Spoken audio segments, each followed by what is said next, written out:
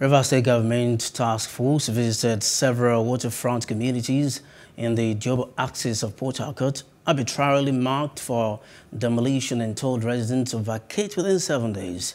This was in reference to Governor Wike's crackdown on identified criminal hideouts in Port Harcourt Township and the Elobuchi axis of Diobu in his 22, 2022 New Year's address but the victims expressed displeasure over the insensitivity of the state government towards the displaced people.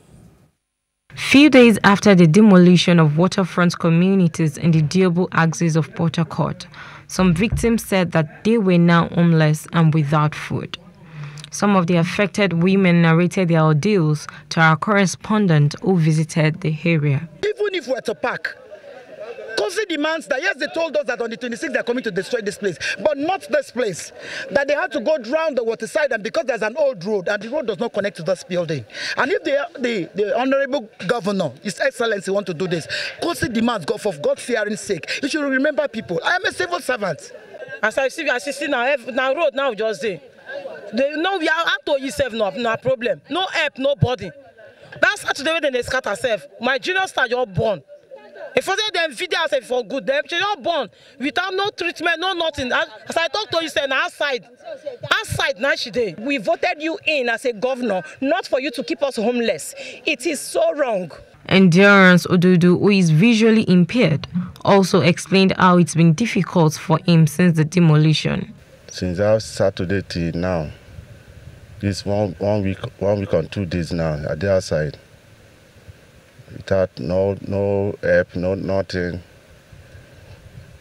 I just I just stay alone with my family. Some of the market women called on the government to reconsider its plans, adding that it was their financial status that relegated them to the area. To rent a shop now or go my one market, if you know 100 and something thousand, they no will give you space and yeah na free. Make dem help us abeg we dey pay small small money.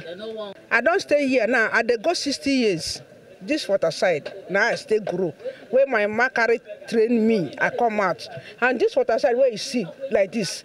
Na we pour mud ooo oh, come build this house so that we go fit stay here dey get fish. Chairman of the Coalition of Civil Society Organizations in Rivers State, Enefa George, who condemned the incident, said it is estimated that over 10,000 persons would be rendered homeless and driven into poverty by the loss of livelihoods and other hardships associated with homelessness and displacement. They never feel fail for government. Can't carry the blame, can't put for our head. It's not possible. Anyways, international instrument that one be say na international law then, wey nigeria said don't sign they are against forced eviction you no go just evict people from their houses like that you go first of all before you evict people you go enter meeting with them you go agree with them you go you go create alternative places for them. The people say they have written to the governor to express their concerns and request an urgent audience with him to discuss how to address the issues. Hello. Hope you enjoyed the news. Please do subscribe to our YouTube channel and don't forget to hit the notification button so you get notified about fresh news updates.